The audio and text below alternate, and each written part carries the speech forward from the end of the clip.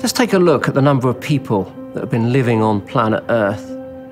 We'll start about 10,000 years ago. At that point, there were roughly 5 million people living on the planet. And they slowly increased in number for some considerable time up until we get to 1800. Well, then we get 1 billion people on the planet. And by the time we get to 1960, we get 3 billion, and then things go wild. And it escalates massively up here to the 7.7 billion people that we've got on planet Earth right now. The UN predicts that by 2050, there'll be almost 10 billion humans on planet Earth.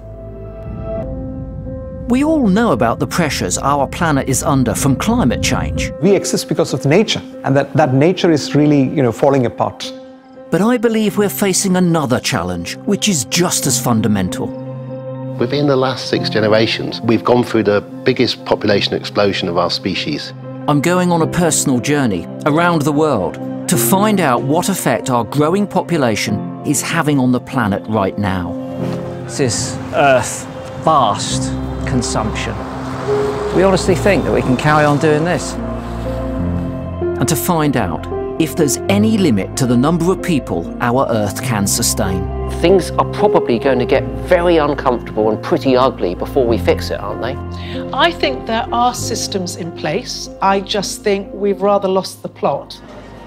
If, as I believe, our ever increasing numbers may in fact be a threat to our own survival, could we find a way, as a species, to reduce our own population? Someone's got to talk about this issue, whilst there's still some chance that we can solve the problem.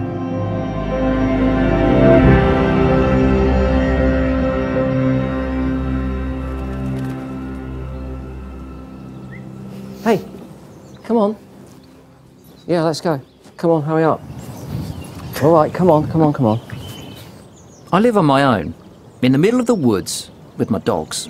Scratchy fell down the stairs a couple of days ago, and I've been told that I mustn't appease his limp or carry him or anything like that. Ah, come on, Scratch. Ever since I can remember, I've dedicated my life to one thing. I have a profound love for, very large.